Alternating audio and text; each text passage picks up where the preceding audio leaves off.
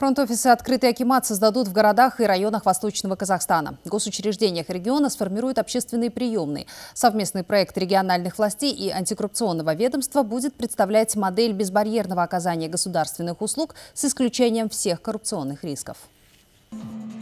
Шығыс адалдық алаңы – это антикоррупционная программа, разработанная в Восточном Казахстане. Стратегия предполагает исключение любых фактов проявления коррупции со стороны госорганов и субъектов квазигосударственного сектора. Кураторы проекта, общественники и представители региональных антикоррупционных служб через соцопросы определили организации, где процесс оказания госуслуг не обходится без бумажной волокиты. При получении каких государственных услуг либо разрешительных а, документах они сталкиваются с волокитой.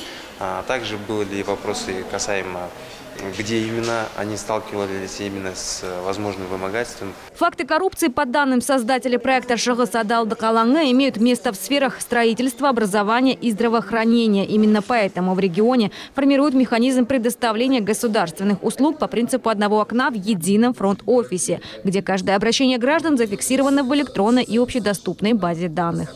В настоящее время необходимо придать динамику реализации проекта, так как работа в данном направлении пока ведется на недостаточном уровне. К ее работе должны быть э, подключены акимы всех уровней, руководители областных управлений и территориальных департаментов. Это вопрос принципа. Сегодня в Восточном Казахстане действуют 33 фронт-офиса «Шығыс Адаллык Алаңы». До 2020 года общественные приемные откроют во всех населенных пунктах региона.